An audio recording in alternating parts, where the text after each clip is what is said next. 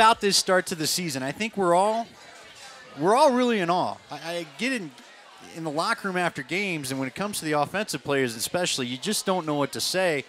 Has it struck you guys the kind of start that you're off to? Has it seemed as easy as it has looked anyway? Um, no game is ever easy. It's always it's always a challenge. Um, everybody's you know in the league, NFL, high caliber athletes, competitors through and through. You know, it's honestly still just a you know a shock that how well we've played, but you know we know that we're capable of doing that day in and day out. And you're capable of doing it because you maintain that focus you just talked about, that ability to put it all behind you and say, you know what, we got to go get the next one. Yeah, exactly. You know, we're still hungry. Um, you know, last year the, the Ravens game, you know, we, we forgot about it, but we didn't forget about it. You know, it's still still nagging at us, still eating at us, and you know, we feel like we have something something to prove and something to make up for last year. Is that one of those driving forces? I'm glad you brought that up. That Ravens game from last year. That's still that underlying undertone here for the season that no matter how good it is, you still remember what happened in that playoff game last year, and you're still motivated because of that. Exactly. You know, we, we never never lose that motivation because we felt like we we were the better team and felt like we we let that game slip away, and we we just have to go out there and make up for it through through through every single game this season and get to that get to our ultimate goal, winning the Super Bowl.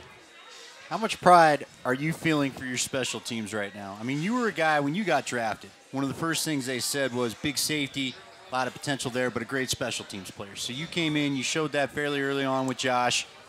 But now it's not just you, it's guys like Steven Johnson. Obviously, you got Holliday, you got the two kickers. I mean, you guys are really, you may be the most complete special teams unit well, for sure in the league, but you, may, you guys may be hitting historical factors here. Just how much pride are you guys taking in that right now? Oh, we, we have tremendous pride. Uh, me being the captain, I, I I love the guys that we have out there. Every guy takes their job, their position seriously. They try to do it to the T. They study their opponent. They study the guy they're matched up against. You know, we just take huge pride to go out there and we realize when the play, play comes to us, go out there and make that play. And Steve, you know, the play came to him and he made the play and made a great big play. And uh, just every single game, we've been able to show out some way on special teams where it's it's been a tide. It changes the momentum of the game where you know we might be even, and then that's what sparks us. How much pride do you take in a guy like Omar Bolden? I mean, he really is. When when Colquitt got his contract, he mentioned you. He mentioned Omar Bolden as guys that he felt helped him earn that money. How, because how, it makes him look good with right, those inside the exactly. 20s, right? Is that a guy that you kind of feel like you've helped along, you've set the example for? Oh, yeah. You know, Omar, he does a great job. He's a competitor through and through. Um, especially there, Gunner beating Vice, beating three guys, going out there just continuously making plays, and especially as a rookie last year, performing at such a high level at, at a tough special teams position. It just, you know, shows a lot, a lot about his character, his want to, and his hunger.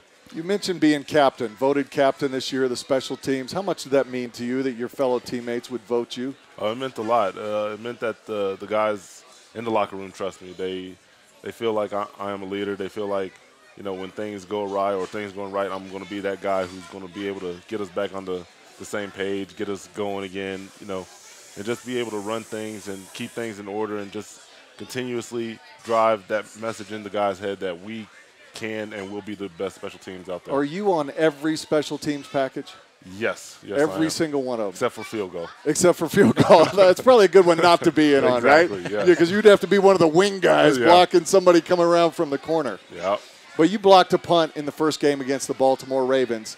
And since that time, it seems like a lot of teams have identified you on film and said, double number 30, don't let him make a play like that again. Oh yeah, um, I, I see it a lot. Um, the Raiders game, especially, I had the wing, the tackle, and the PP eyeing me.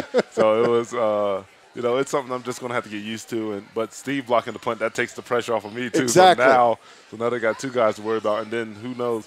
They worry about us, somebody else is going to scout for these. We got a lot of guys who, when they're put in that position, they will make that. Well, play. but because they doubled you, is probably why Steven Johnson was free to block the punt this past weekend against Philly. You know, regardless of how it happened, he blocked it, scooped it, scored it, held the thing up. He did a great job through, all the way through that play. I read something, or maybe he was interviewed right after the game, where he said he didn't initially think he was going to get there, and he kept going and said, "Well, I'm there. I got to block it now." yeah, that's what he was telling me on the sideline. Like, um, I thought one of these guys are supposed to block me. Oh, well. Let me put my hand out. And there is an art to blocking a punt. I mean, coaches teach it exhaustively about the right angle you're supposed to take. So if you don't get there in time, you don't rough the punter. Exactly. Talk a little bit about that. you know, it's all about it's all about what side you're on, what leg the the punter is. Um, if it's a left left-footed guy and you're on, say, the right side, you you will have to come across this block point, and you want to make sure you get the ball. Um, one hand, the back of the hand, the forearm, both hands. Um, any way you can get to somebody else's body, however you can block the punt. It, it's a, it's truly an art. It's all about keeping your eyes on that block point because a lot of guys get there and close their eyes and they don't want to see it you know. But um, we we we ran it, we drilled it a lot during camp. Every basically every single punt return day, we drilled it, and it's definitely paying dividends thus far. All right, we're talking with David Bruton, number 30 from the Denver Broncos. He'll be with us until 8 o'clock. We also have Patricia and Michelle from the Denver Bronco cheerleaders out here. They'll be signing calendars and posters here until 9 o'clock. We're at Arapahoe in Yosemite, the Red Robin location here in Greenwood Village. Come on out and see us. This is Bud Light Broncos Prime Time. How would you like to spend the weekend before Christmas in Houston, Texas, watching the Broncos play the Texans? Yeah, boy. How would you like to do it with all your travel, lodging, and tickets paid for? Well, you can when you purchase a limited edition $25 Denver Broncos Red Robin gift card, and you will be entered to win this grand uh, prize trip and much more. We have the gift cards up here at the table with us. Is that you?